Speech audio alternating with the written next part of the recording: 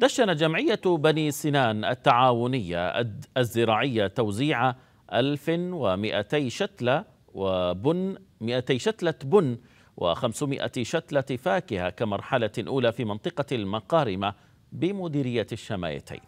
ويأتي هذا النشاط بهدف العودة إلى موكا الذي أطلقته الجمعية ضمن سلسلة مشروع زراعة مليون شجرة بن في محافظة تعز.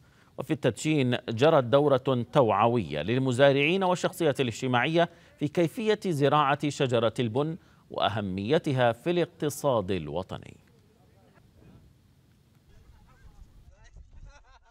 دشنت جمعية بني سنة التعاون الزراعية في منطقة عزرة المقارمة مديرية الشمايتين زراعة 1200 شجرة بن مع فاكهة.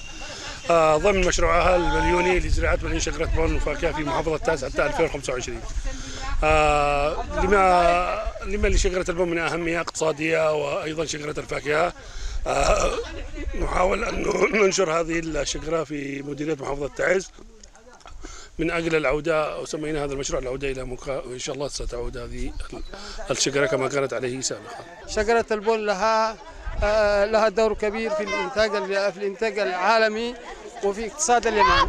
وأن تعود هذه الشجرة إلى إلى مثل هذه المناطق شيء جميل.